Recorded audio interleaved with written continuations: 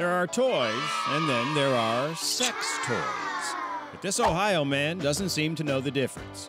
28 year old Charles Marshall was arrested for getting freaky with his teddy bear. Say what? Yep. He was charged with public indecency and disorderly conduct when he was caught masturbating with the plush toy outside a Cincinnati health clinic.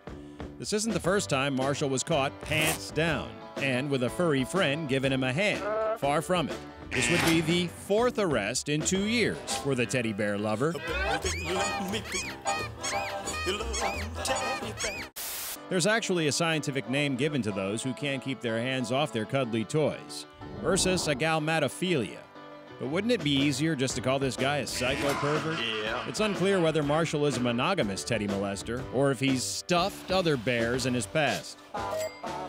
What is known, you better keep your kids far away from this guy.